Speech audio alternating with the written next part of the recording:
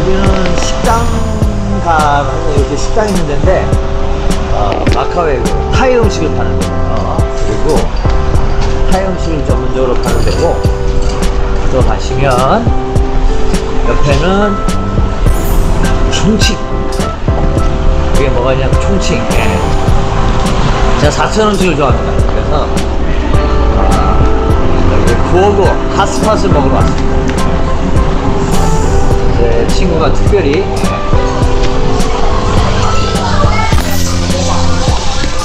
아, 총칭 그래서 음식이 맛있는 것 같아요. 사람 꽤 많아요.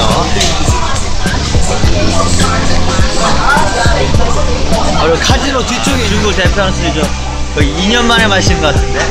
여기가 알코올 도수가 낮는데 한번 마셔보겠습니다. 네, 마카오는 마카오 사람들 매운 거 잘 안 먹어요. 그래서 이런 사천 음식 식당이 별로 없어요. 네, 이 친구도 처음 왔어요. 여기 왔다 하는데 저 때문에 온 거예요.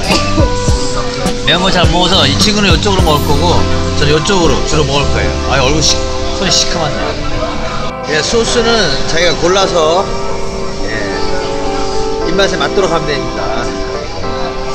다양하게 있죠. 아, 진짜 정통으로 하는 총칭 호거네요. 아, 제가 여러 군데 먹었지만 진짜 매워요. 혀 찢어지는 줄 알았어요. 근데 놀란 게요. 옛날에 마카오 사람들이 매운 거 잘 못 먹었거든요. 이렇게 매운 음식을 저보다 더 잘 먹어요. 와, 한국 사람보다. 그러니까 마카오도 경제가 발전해서 이제 되게 많이 다양한 음식들이 와서 영업을 하고 홍콩과 이제 막 어깨를 막 나누려는 그런 발전된 모습을 보고 있는 것 같아요. 마지막은 아, 면으로 아, 예, 정리가 됩니다.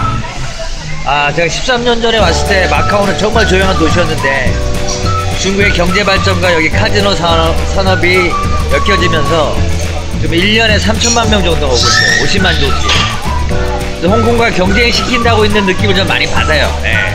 그래서 홍콩은 좀 개이거든요, 중국한테. 그래서 마카오를 키워줌으로 해서 어, 중국 말을 잘 들으면 너네가 더 이렇게 발전할 수 있다라는 것을 유혹시키, 유혹시키는 또 그런 느낌도 받아야죠. 마카오, 홍콩 왔다 갔다 하면. 어쨌거나 총칭, 아, 제대로 된, 마카오에서 제대로 된걸 먹게 되고요. 예, 정말 사람이 많은 이유가 있네요.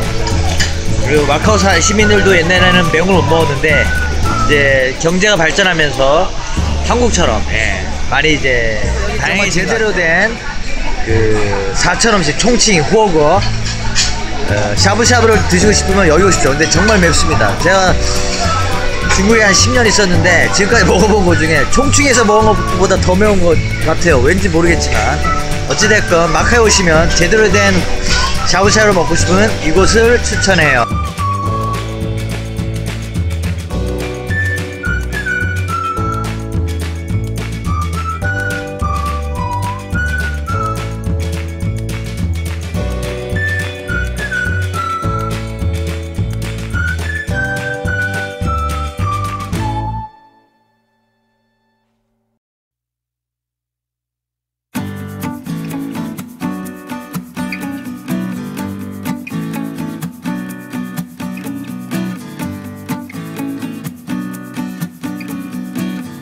마카오는 올라서 마카오 사람들 매운 거 잘 안 먹어요. 2년 만에 마시는 거서 입맛에 맞게 알코올처럼 식당이 별로 없어요. 다양하게 있죠.